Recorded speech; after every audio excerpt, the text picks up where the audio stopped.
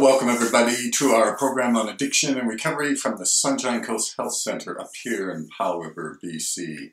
And one of the alumni suggested a topic for this series, and that was the history of addiction treatment, which is a very complicated uh, uh, story, and certainly we don't have enough time to do it here, but we'll pick out a handful of things. But one of the key things to remember about addiction treatment is it's all based on how people make sense of this excessive drinking or excessive drug use. So, for example, uh, 2,500 years ago, a very famous Greek uh, playwright by the name of Euripides, he, he wrote this play called the Bacchantes, after Bacchus, which is uh, was the Roman god of, uh, of, of wine.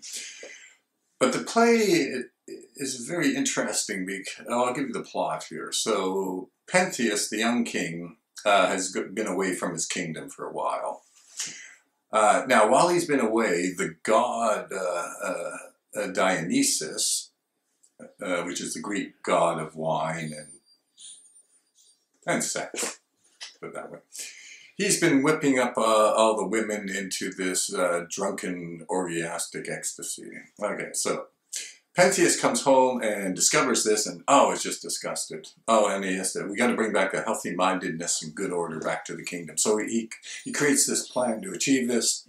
and unfortunately for Pentheus, the drunken women tear him limb from limb. And the Bacchantes is a cautionary tale to those people who are naive enough to believe that drunkenness can be defeated.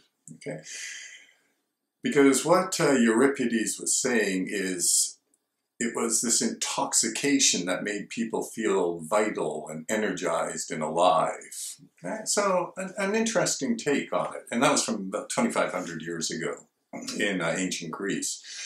But this kind of idea, right? Uh, how it's how contemporary society looks at things. Um, we know that uh, a lot of the medieval sermons uh, the clergy and the, uh, the clergy railed against drunkenness, but drunkenness wasn't considered particularly bad or worse than, uh, say, for example, gluttony. In fact, Dante, uh, the great great poet in that gigantic 500-page uh, poem he wrote of the Divine Comedy, he reserved a place in hell for the gluttons, but not for the, the drunkards. So this is interesting, eh? So even in medieval times, drunkenness was not considered really as bad a sin as gluttony. And in and in any event, these sorts of things were all, um, this was uh, a sin because it was not moderate behavior. Right? And we can speed up and go into various centuries, but the key point is everybody looks at things a little differently. And even today, for example, the way, for example, the Italians uh, view drinking alcohol versus, for example, the United States with its prohibitionist attitudes are, are very different.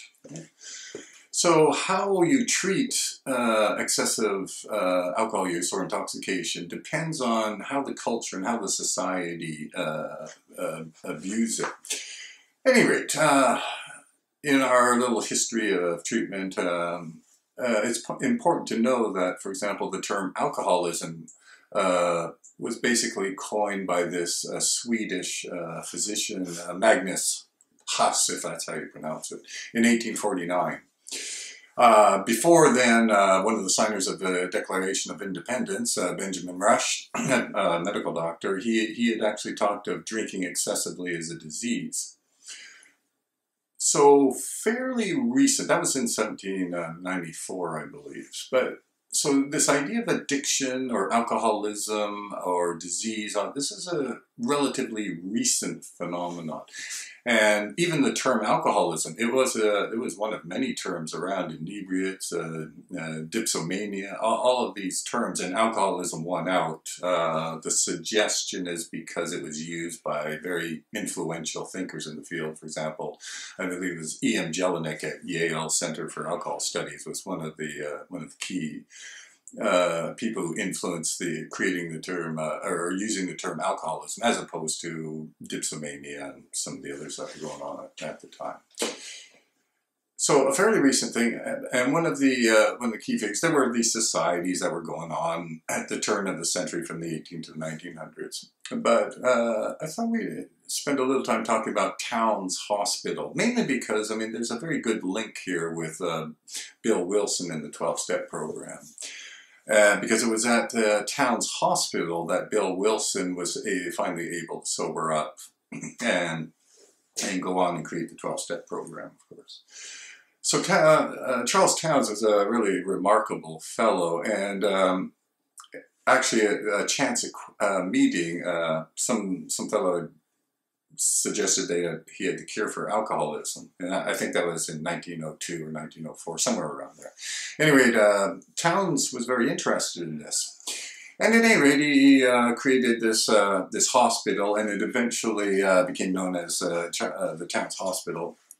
Uh, and, and, it was for basically privileged alcoholics, people who had some money.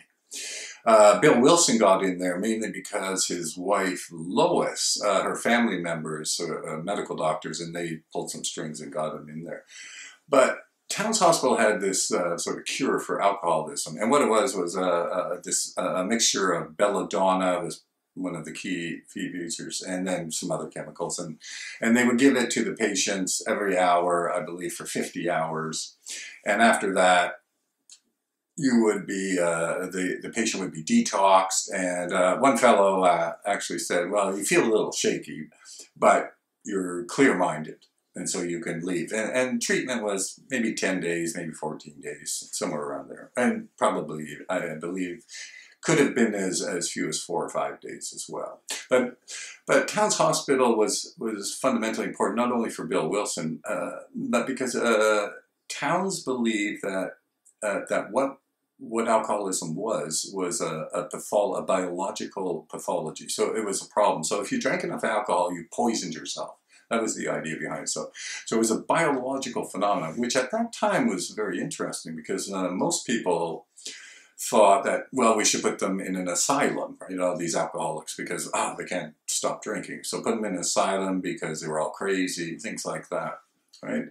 And Towns said, no, no, no, uh, asylums don't work. I mean, all, the, all this kind of stuff. Putting him in jail doesn't work. None, none of that works. The only because you have to recognize this biological foundation under it. So, anyway, he created this uh, this cure.